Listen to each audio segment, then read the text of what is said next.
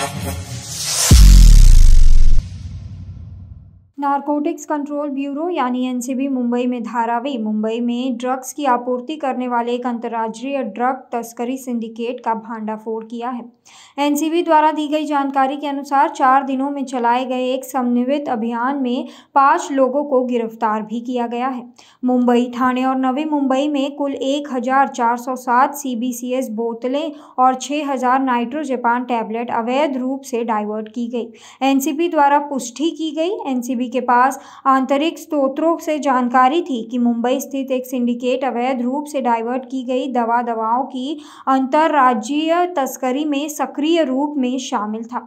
जाँच के दौरान एनसीबी के अनुसार कुरैशी और कुरैशी की पहचान नवी मुंबई के कोपर कहराने में रहने वाले एक जोड़े के रूप में की गई थी, जो कथित तौर पर दवाओं की खरीद और आपूर्ति का काम कर रहा था। बाद में पता चला कि वह खोपर कहराने के ठिकाने पर ड्रग स्टोर करते थे। इसके अलावा वे मुख्य रूप से धारावी, मुंबई में दवाओं का वितरण कर रहे थे।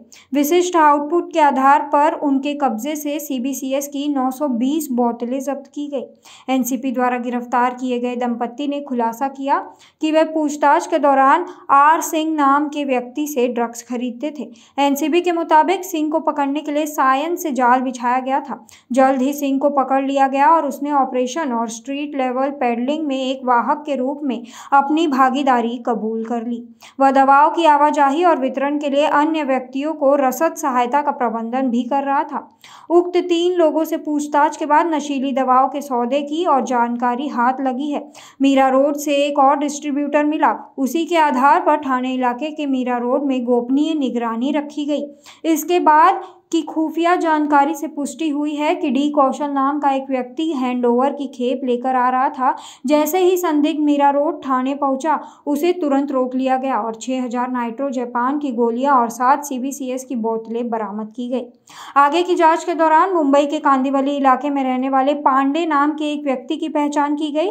वह मुंबई में खरीद और अवैध दवा आपूर्ति में शामिल था। कुशल प्रबंधन और विशिष्ट खुफिया जानकारी ने पुष्टि की कि उन्हें 12 दिसंबर को सीबीसीएस की एक खेप पहुंचानी थी। तुरंत एक और अनुवर्ती फ़ील्ड ऑपरेशन शुरू किया गया।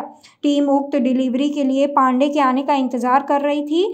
थोड़ी ही देर में पांडे ने अपने आगमन की पुष्टि की और जैसे ही एनसीबी की टीम ने खेप के साथ उनकी उपस्थिति की पुष्टि की, उन्हें पकड़ लिया गया। तलाशी के दौरान उसके पास से सीबीसीएस की 480 बोतलें बरामद की गई। जाँच ने संकेत संकेत दिया कि सिंडिकेट के अंतर्राज्यीय आपूर्तिकर्ताओं के साथ संबंध है और धारावी के माध्यम से ड्रग्स की खरीद की जा रही थी। कुछ आरोपितों को पुलिस पहले से ही गिरफ़्तार कर चुकी है।